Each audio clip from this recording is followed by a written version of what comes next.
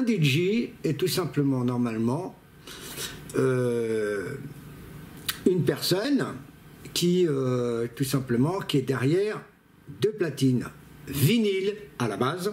Hein, je ne parle pas de platine numérisée parce que le numérique à cette époque que je vous parle n'existait pas. Donc, je parle bien des disques jockey. Disque jockey, tout simplement, c'est que à la base, ça devait remplacer dans les balles, comme dans les discothèques. Hein, à la base, c'était pas une discothèque, c'était réellement un bal.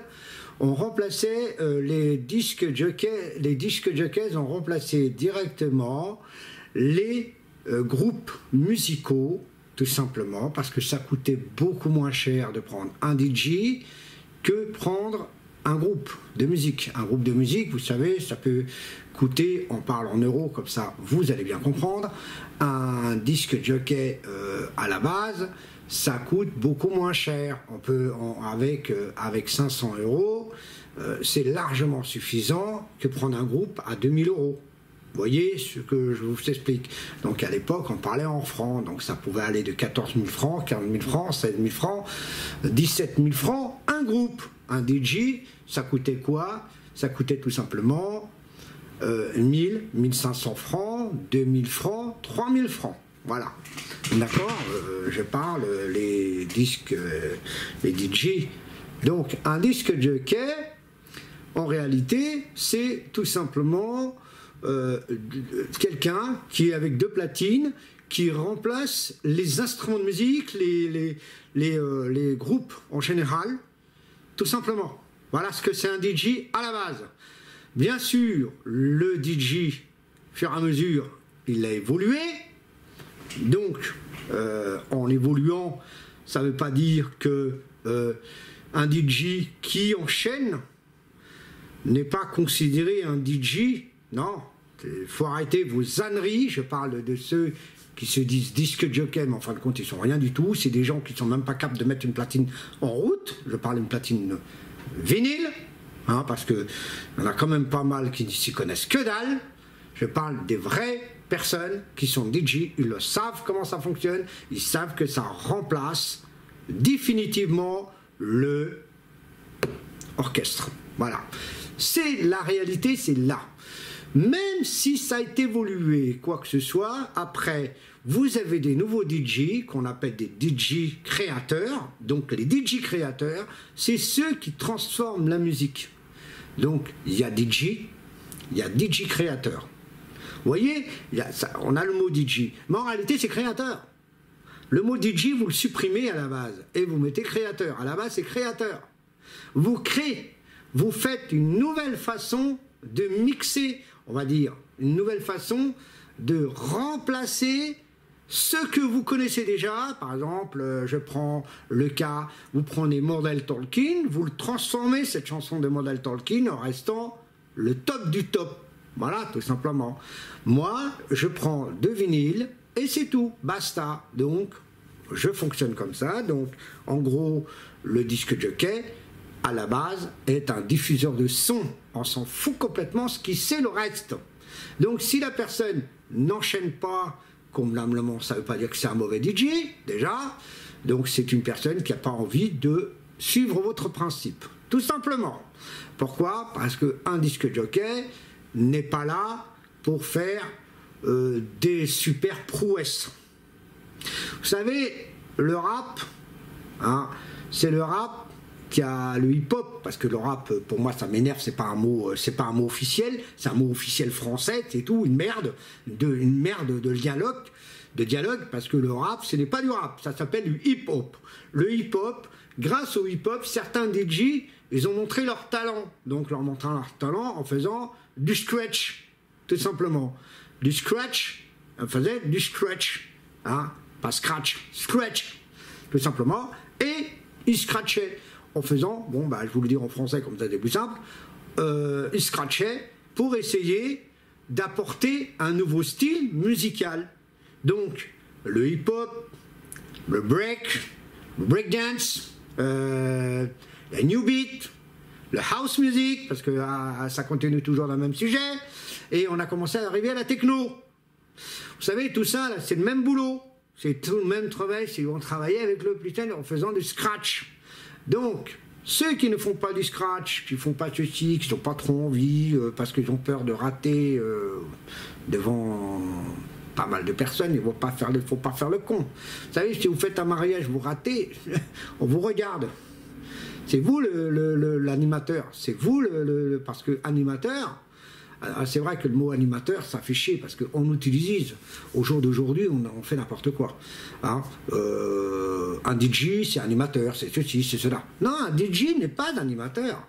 Un DJ n'est pas un animateur. Un DJ est là pour faire de la musique, pour faire danser, vous, à la place de... Vous prenez euh, la fièvre du samedi soir, hein, par exemple. Vous regardez bien le film de la fièvre du samedi soir. Vous allez voir que le DJ ne remixe pas. Et regardez bien ce film-là. Vous verrez, vous passez sur le DJ, vous voyez très bien que le DJ ne remixe pas. Il fait rien, il passe le disque. C'est un, tout simplement, une personne qui remplace un groupe. Vous imaginez la boîte, elle va dire tiens, ouais, tiens, il y a des Bee Bon, il faut mettre du matériel, encore plus que nous les DJ, parce qu'il faut dire la vérité, plus de matériel. C'est pas deux, trois matos qu'ils vont mettre. Eux, c'est quasiment du matos, des platines, euh, des platines, pardon, des, euh, des amplis, des amplis guitare. Hein. Euh, on parle pas des amplis que des amplis, les amplis guitare, les enceintes. Les, les enceintes de retour, c'est très important, plusieurs trucs. En plus, il faut que vous installez les instruments de musique, et ceci, ça. Donc, bah, il y aura presque plus de place pour danser. Donc, qu'est-ce qu'ils ont décidé? Ils ont décidé, dans les années 60-70, de créer le DJ. Donc, je dis, tiens, pourquoi pas, euh, grâce, à, grâce à quelle platine? Messieurs, dames, grâce à la platine, la seule platine au monde que tout le monde connaît, la Technics. Grâce à cette platine-là, cette platine Technics qui est la révolutionnaire mondiale de la platine sans courroie, tout simplement la NBK2, qui tout le monde la connaît, qui est une platine qui, qui valait 790 francs à l'époque. Au jour d'aujourd'hui, elle vaut les yeux de la tête. Je ne parle pas de la MK7, parce que la MK7, c'est une évolution de la MK2, tout simplement, qu'elle coûte quasiment presque trois patates. Voilà. Et oui, elle coûte très cher, cette platine. Extrêmement très cher, que certains DJ, bah ouais, ouais, ouais, ouais, bah écoute, euh, tu es gentil, moi je reste un peu dans mon prix, moi, hein, parce que tu peux garder. Ça veut pas dire qu'on l'aime pas. Non, non, non, non, c'est abuser les prix. Malgré qu'elle est faite à la main. Attention, elle est faite à la main, cette platine. Je la preuve parce que je l'ai vu en vidéo, comment ils l'ont montée. Croyez-moi qu'ils l'ont fait à la main. Ils ont fait quasiment le montage à la main. Je ne parle pas des pièces. Les pièces, bien sûr, elles ont été euh, moulées, elles ont été ceci. Croyez-moi, le plateau est super beau. C'est un, beau bijou de plateau. Mais bon, ça coûte extrêmement cher. Hein. Je parle de la platine, la MB MK7. La MK7E, c'est une super platine, mais extrêmement chère. Pourquoi? Moi, j'ai pris du Audio Technica qui coûte pas tellement cher, qui coûte trop et me suffit. On revient à 1000 euros là quand même, hein, avec les deux mêmes airs, elle me revient d'une mot. Bref, on revient sur le sujet de, cette affaire. Donc en gros, on a travaillé, les DJs ont commencé à mettre des disques, tout ça. à l'époque, on commençait pas encore à scratcher. Hein, on commençait pas encore un tout petit peu à scratcher. Et les hip-hop, ils sont venus. Ils sont venus, ils ont dit tiens, tiens, tiens, il y a cette platine, elle a l'air d'être intéressante. Alors bien sûr, il y a quelques platines qui ont commencé à venir, mais elles n'étaient pas au top à côté de la NBK2. Il faut le dire, parce que la NBK2, elle était la révolutionnaire des platines sans courroie. Donc DJ n'est pas forcément la création. Non. Il n'y a pas de je cale, je cale pas. Non, non, non, non, non, non. Ça a évolué, DJ, c'est sûr. Mais ce n'est pas une obligation. Il n'y a pas d'obligation. Je peux même faire un mort et redémarrer. Vous voyez ce que je veux dire? Il dit en haut, non, c'est un DJ, on remplace, on remplace le groupe. On remplace n'importe quel groupe. Voilà ce que c'est un DJ. Voilà la vraie signification de disque jockey. Hein euh, à l'époque, on appelait ça euh, des disques jockey. voilà, pour l'époque. On parlait pas. Parce que c'est marrant, parce que moi, le mot jockey, euh, on l'utilisait aussi pour les chevaux. Voilà, pour ceux qui, font du cheval. Hein, ceux qui font des courses de chevaux, on les appelle les jockeys. Euh, que jockey. Alors c'est bizarre quand même. Pourquoi le mot jockey euh, sur le platine? Ah, je comprends pas moi. Hein donc voilà. Donc les DJ, hein, les DJ, euh, donc tout simplement, bah, disque jockey, ça veut dire justement ça. Ça veut dire, messieurs, dames, moi je prends une platine, je mets un disque de 45 tours, 33 tours, on s'en fout, et je mets le disque. On n'est pas forcément obligé de le mettre en entier. Hein, que certaines, euh, quand ils font des trucs, et eh ben, c'est normal, ils laissent jusqu'au bout. Ah oui, ah oui, oui, ah oui, oui, ah oui, oui, on laissait jusqu'au bout. On laissait le morceau jusqu'au bout. On n'allait pas 4, euh, 5, euh, on va dire, euh, pas 4, 5 secondes, je veux dire 15, 30 secondes, on va dire le plus gros, une minute, et on laissait une minute de mort. Qui veut dire, une minute, allez, on enchaîne. Vous voyez ce que je veux dire? Un DJ est tout simplement quelqu'un qui prend un morceau, qui balance, soit en entier, ou soit euh, plus de trois quarts. Voilà. C'est tout simplement ça, on croit un DJ. Et après, bon, bien sûr, tu as les créateurs, donc ceux qui disent tiens, tiens, tiens, pourquoi on va pas faire comme ça? Et eh ben voilà, là après c'est autre chose. Hein, d'accord? On reste, voilà. La vraie signification, c'est celle-ci.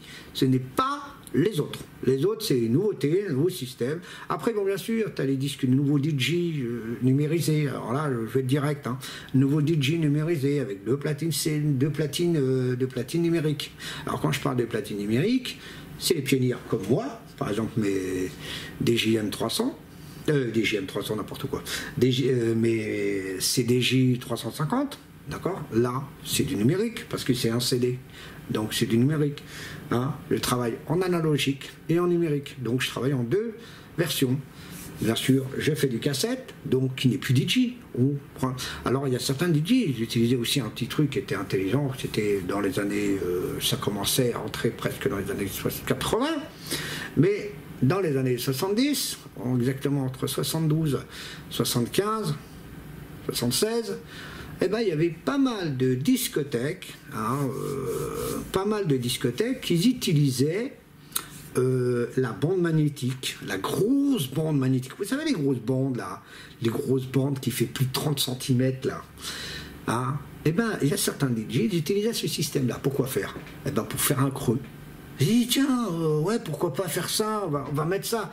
Je ne parle pas du début du DJ. Du début du DJ, on travaille avec les deux platines. Après, il y a le DJ, tiens, on va faire euh, plus de blanc, on va essayer de faire un nouveau système. Un nouveau système, là, on commence à rentrer dans la création. On commence à rentrer dans la création, mais sans créer. Vous voyez ce que je veux dire? Et on balance une musique. On va enfin, balancer euh, une grosse bobine Hein, euh, bien sûr, déjà préenregistré, parce que le mec il travaillait avant de faire tout ça, ce petit boulot.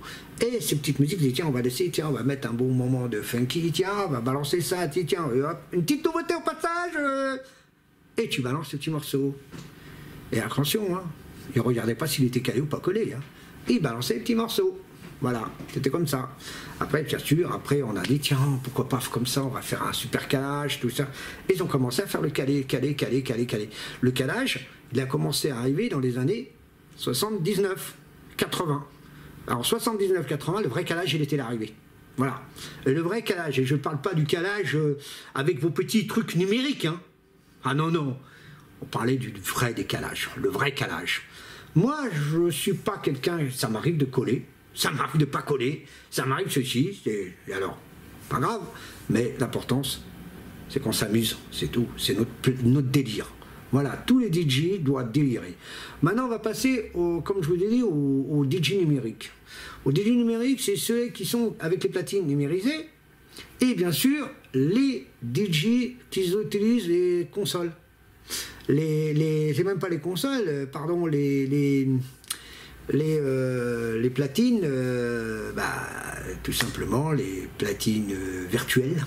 Là, carrément, la vraie platine virtuelle, qui veut dire comme les petites Newmark, sans platine disque, donc en USB. Avec le système USB, eh ben, faut dire que ces platines-là, elles sont venues pas très très très vite. hein. Dans les années, dans les années, dans les années 80, elles commencent à venir. hein. Elles commencent à venir ces platines-là. Elles sont venues exactement en 84-85. Voilà. Les premières platines euh, numériques, les vraies platines numériques euh, en USB. Vous voyez, ça existait. Ça a commencé à exister. Ce jour-là, le MP3 était complètement euh, merdique. faut dire la vérité, merdique, mais on avait une chance, c'est qu'on pouvait adapter quand même des vraies platines autour de soi, qui veut dire des vraies platines vinyles. Mais les gens travaillaient avec le petit numérique, donc les petites, euh, donc à l'époque il n'y avait pas des paves, des paves, des CV, les petits, petits pavés, euh, petits genre trucs comme ça là. Hop. Excusez-moi. Voilà. Euh, travailler comme ça, vous voyez sur, euh, sur les platines. Ils n'avaient pas ce système-là. Ça commence, ça a commencé à venir hein, dans, les, dans les années 2000. hein. Dans les années 2000, c'est beaucoup de 2000 qui a commencé ce genre de système parce qu'ils ont vu que ça marchait bien. Ça faisait un beau système pour essayer de remixer, pour faire ceci, pour faire un nouveau système de son, tout simplement. Il faut pas oublier que le MP3 à l'époque, c'était de la merde. De la pure merde que le MP3 d'aujourd'hui. Le MP3 d'aujourd'hui, il faut le dire, il est évolué. Il est extrêmement évolué. On appelle le MP3 HD. Et euh, ça, je parle pas de ce genre de système. Pour faire comprendre, en gros, on a travaillé quand même très très peu de DJ à l'époque qui utilisaient ce genre de platine. Mais la majorité des platines, c'était la platine, euh, des platines comme la mienne. Après, ils ont commencé avec les, euh, CDJ, euh, CDJ, oui, CDJ euh, euh, 800, 900, euh, la 2000 qui commence à arriver, la nouvelle Nexus qui commence à arriver aussi derrière, fur et à mesure, fur et à mesure, fur et à mesure. Là, on est à la Nexus 2. Vous voyez En 2000, euh, 2010 ouais, 2019, je crois. Oui, c'est ça. hein, vous pouvez me confirmer par, euh, par écrit, hein, euh, sur euh, vos commentaires. Vous me le dites en quelle année vraiment, parce que moi je pense que c'est 2000, euh, en 2018, 2019, mais un peu même un peu plus jeune que ça, peut-être 2017. Voilà. Et que la NBK2, elle, euh, la NBK2, la, la, la, la euh, la, la CDJ Nexus 2, voilà, va y arriver. Euh, elle commence à arriver et c'est une platine qui a plus d'options que la, que la Nexus que la Nexus 1. Donc tout simplement, forcément, elle a un petit avantage. Euh, voilà. Et donc DJ, DJ en gros, c'est tout simplement, on est passé au numérique, on, voilà, et maintenant on commence à faire des folies avec les platines, hein, euh, même jusqu'à des platines vinyles qu'on peut lire le numériser, numériser nos vinyles, hein, de faire tourner des vinyles sur un ordinateur tout simplement et de faire croire qu'on joue avec un mixage, bien sûr, de disques pareils euh, et ça fait croire que c'est le même disque et en réalité, euh, tout simplement, c'est un ordinateur qui s'occupe de tout. Donc euh, un encodeur, voilà, un, disque encodeur et ces disques-là, bah, c'est des disques exprès que maintenant on peut transformer tout ce qu'on veut, faire ce qu'on veut avec, du scratch, de ceci, de cela. Voilà, DJ, à la base, on est à la base, euh, je reviens sur les premiers pas, c'est rien du tout. C'est un disque, t'as un mec qui met un disque, basta. Pas comme un jukebox, parce qu'un jukebox, ça va jusqu'au bout, et après vous mettez une pièce. Là, vous mettez toute la soirée. Toute la soirée, vous avez euh, jusqu'au petit matin le mec qui va vous mettre la musique, ce que vous désirez, qu'on aime bien en général dans une discothèque. On va pas mettre de la merde dans une discothèque. Dans une discothèque, on met le top. On met ce qui marche très bien dans les oreilles. Et croyez-moi, à la base, c'est ça. On va pas mettre euh, taper taper dans les couilles de ta mère et ça et ça ça En gros, ça veut dire je fous de la gueule du groupe euh, du groupe euh, J'en rigole parce que euh, c'est un groupe que j'ai jamais aimé, quoi. J'aimerais jamais, hein. jusqu'à aujourd'hui, j'aime pas. Et c'est pas pour ça que j'ai pas le choix de le faire. En tant que disque jockey, on est obligé de le faire parce qu'on fait des soirées privées. Et si tu fais une soirée publique, tu la mets jamais ça là. Là, tu mets pas en soirée ça. Ça pas ça. On met jamais ce genre de soirée. Donc début de soirée, c'est un disque de merde qu'ils ont fait, un disque de merde, total de merde qui a été disque numéro un des ventes, mais je ne sais pas comment, mais bon, tout simple, parce que c'est la radio qui mettait. Attention, hein, c'est la radio qui mettait. Tout le temps, tout le temps, tout le temps, jusqu'à saouler les gens dans les oreilles. Voilà comment ça se passait. Hein Faut pas oublier, c'est une chanson de 89, 88, 89. Et euh, quoi euh, euh, tout le temps, t'as fait saouler. Moi, j'ai jamais aimé. Si, franchement on parle de musique, moi, c'est euh, Zangang, euh, euh, Shaggy. Alors là, on passe un peu plus loin, dans les années 90. Là, là oui, ça passe, mais ça, c'est une chanson de merdique. Alors, encore, hein, excuse-moi, je franchement, je préfère encore Patrick Sébastien. Voilà. Parce que c'est tellement merdique cette chanson qu'elle va rien du tout. Hein. Au moins, euh, Patrick Sébastien, c'est pour déconner. Mais là, c'est pas, ça déconne pas. Ça fait le style d'être sérieux. Et, c'est de la merde. Voilà. Bon. En gros, DJ, c'est quelqu'un qui va diffuser simplement de la musique qui remplace tout simplement les groupes. Voilà. Voilà l'information officielle, et c'est pas des âneries que je vous dis, parce que euh, c'est dommage, je me suis, je connais plus la chaîne et euh, j'ai bien écouté sa vidéo et je l'ai analysé et ça m'a plu ce qu'il a dit parce que c'est pour une fois que c'est un DJ qui parle comme ça, j'aurais bien voulu que tous les DJ parlaient comme ça. Ça me plaît quand quelqu'un parle vraiment la vérité pour dire qu'est-ce que c'est un DJ. Parce que c'est saoulant d'entendre des gens qui mettent Ah, c'est obligé de remixer, de, de mettre de caler. Non, c'est pas une obligation. Voilà, tout simplement. Et je vous emmerde. Putain, j'en ai marre. Faut dire la vérité aux gens. Aujourd'hui, on fait ce qu'on veut. Si vous voulez se caler, vous calez. Si vous n'avez pas envie, vous faites ce que vous voulez. Vous sentez ce que vous voulez. Vous faites comme vous le sentez. C'est comme ça que ça fait la main des... Et c'est comme ça qu'on peut créer même autrement. Aussi. Hein. Vous savez, moi ce que j'aime bien, moi j'aime bien les, les, Vous savez, les petits morceaux là qui, qui, le mec est en train de chanter, mais en réalité on est en train de couper toutes les 40 toutes les, toutes les, toutes les mêmes pas secondes là. Comme tu, tu, prends le, le comment s'appelle euh, et tu fais jusqu'à jusqu'à tu, tu, tu, fais des petites coupures là, ça fait pas mal aussi voilà mais il faut le faire faut le savoir le faire tout ça et ça il faut être tout le temps travailler travailler hein. pourquoi je travaille pas beaucoup? Parce que voilà je suis dans un appartement dans un grand appartement, je suis au quatrième, comme je répète au moins 50 milliards de fois à tout le monde, et alors, je peux pas bosser comme je veux, tout simplement. On n'est pas à la maison, tout simplement. Au Portugal, oui, je peux faire au moins un milliard de fois, c'est chez moi. C'est dans ma maison. Mais j'ai pas de matériel là-bas. J'ai pas de matériel de DJ, c'est pour ça que je mets à fond la radio là-bas. Mes cassettes, mes cassettes à fond, la radio à fond, elle m'embrole. Même j'ai mis la téléphone là-bas. Donc, vous voyez. Donc, parlons sérieusement, les garçons. Arrêtez de dire n'importe quoi. Voilà, c'est tout. Je reviens sur ce sujet parce que c'est une petite chose que j'ai envie de dire, que j'en ai un peu ras-le-bol, qu'on me saoule. Ouais, ce que tu crées, euh, j'ai envie de créer, mais j'attends quelque chose. Voilà. En plus, j'ai un petit problème avec ma carte son qui commence à me casser les houilles. Pour vous le dire la vérité, qui me cassait les houilles. Et croyez-moi, cette petite carte son qui allait très bien, mais elle me fatigue. Elle me fatigue parce que voilà, euh, voilà, euh, voilà. Voilà ma carte son. hop, je vais tourner la caméra. Voilà, ma carte son. Voilà, ma carte son, elle est là. Vous voyez, c'est une petite carte son sympa. Et euh, le problème, c'est que cette carte son, cette carte son, elle me fait perdre des sons en train d'enregistrer un CD. Donc, vous voyez, je voudrais euh, transformer sur un CD et je devais enregistrer pour, pour quelqu'un que je connais. Et bizarrement, le son est parti en cacahuète. Je me retrouve mono. Alors, je ne sais pas pourquoi. Donc, j'ai peut-être réfléchi. Je sais pas, peut-être c'est le Mac, je ne sais rien, je ne sais pas. Je sais pas, donc j'ai dit, non, ben, je vais réfléchir, je vais peut-être en acheter un autre. Euh, les cartes son, vous savez, ça ne coûte pas cher. Elles coûtent pas cher, ces cartes son, elles vaut quoi Une cinquantaine d'euros. Donc je crois que je vais m'acheter une carte son qui coûte beaucoup plus cher que j'en ai déjà une, qui coûte 100 et quelques euros. Et, et, et, et, bah quoi, bah quoi, bah quoi, ce que dire, bah c'est pas si terrible que ça.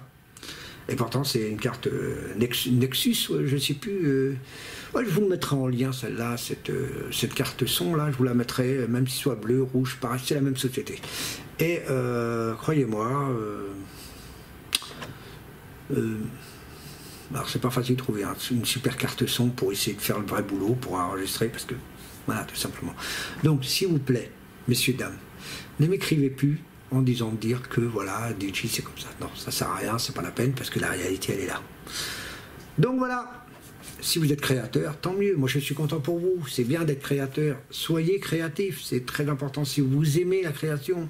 Mais attention, ne vous prenez pas pour des David Guetta ou des Bob Sinclair ou des, ou des DJ Miles ou des, ou des DJ bidule ou des DJ machin, des trucs bidule chouettes. Ne vous la pétez pas plus haut que Faites à votre envie. Voilà, tout simplement. Parce que quand on est DJ, quand on veut créer quelque chose, il faut avoir vraiment de l'inspiration. Et quand tu as de l'inspiration, il faut y aller. Il faut le faire proprement et correctement. Parce que c'est un sacré métier. Tu sais, quand on aime la musique, on aime de toutes ses coutures. Ça veut dire, moi, ce que, pourquoi euh, il y a, d'autres DJ qui me font rigoler? C'est les DJ qui n'ont qu'un style musical, euh, que de la techno, pardon. Ouais. Est-ce que, vous, est que vous savez au moins qu'ils écoutent quoi au moins? Ils écoutent toujours la même merde. Bon, bon, bon, bon, bon, c'est tout. Maintenant, il faut écouter un peu de tout, vraiment de tout. Il faut écouter tout. Si vous être vraiment un DJ, vous savez, un DJ, ça peut diffuser du classique.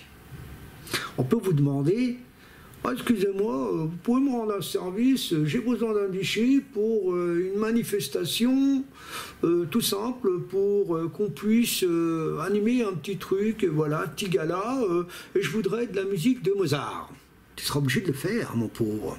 Et pas le droit de remixer. Ah ah, non, interdit. Parce qu'il va te demander quelque chose de précis. Pas à toi de préciser, à lui. C'est le client qui voudra quelque chose de très précis.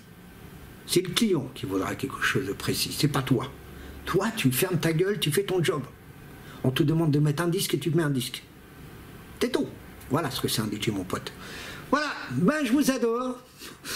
Prenez soin de vous, c'est très important, hein, parce que c'est très très important. Vous faites des gros bisous, je vous adore quand même, mais mes amis, réfléchissez bien à ce que je vous dis. D'accord? Allez, arrivederci.